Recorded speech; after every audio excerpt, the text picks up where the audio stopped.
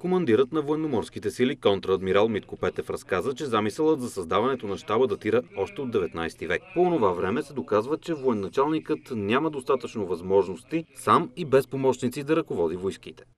Щаба на военноморските сили само по себе си е едно а, утвърждаващо дело, където българина ясно и конкретно показва, че има място в общността на морските държави, че морската идея не е чужда и България е морска държава. В момента командването на военноморските сили а, се явява движещ орган, изключително сложен организъм, който е традиционно източник на иновации, а, източник на идеи, създава концепции, разработва бойни планове, разработва планове за подготовка, което гарантира устойчивото управление на военноморските сили.